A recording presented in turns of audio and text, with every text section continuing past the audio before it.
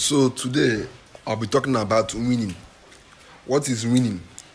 Weaning in pigs simply means the act or the process of taking the piglets away from their mother and introducing them to solid foods like the PKC pigs eat, the um, corn meal, the blood meal, the um, dough. So you take it away from the mother, from sucking the mother's breast. You put it in a separate pen and start feeding them with solid foods, like the foods I just mentioned.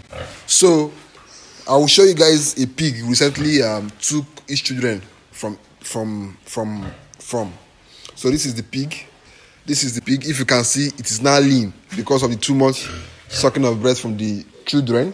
And that pig also, let me show you guys another pig. This is also another pig which recently another pig which we recently took its kids from.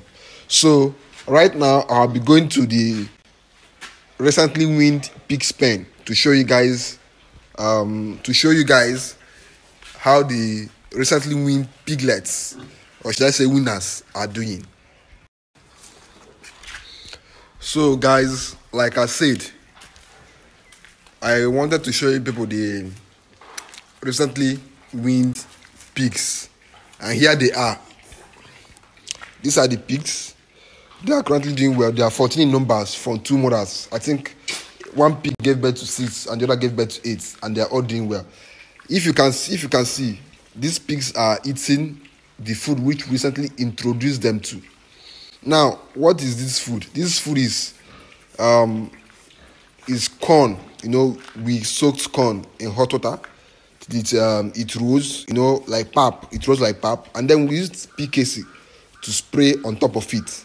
So they are eating a mixture of PKC and corn meal, and this is um the food they will be eating. You know, till at least they get to two months old, three months old. Then we can now, we can we can now introduce them to like both pigs.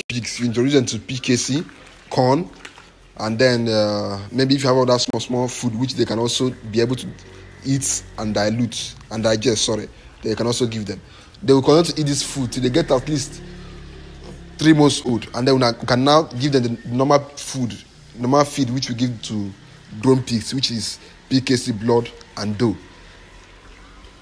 So, guys, thank you very much for this, uh, for have give it for watching my video, and God bless. Thank you so much.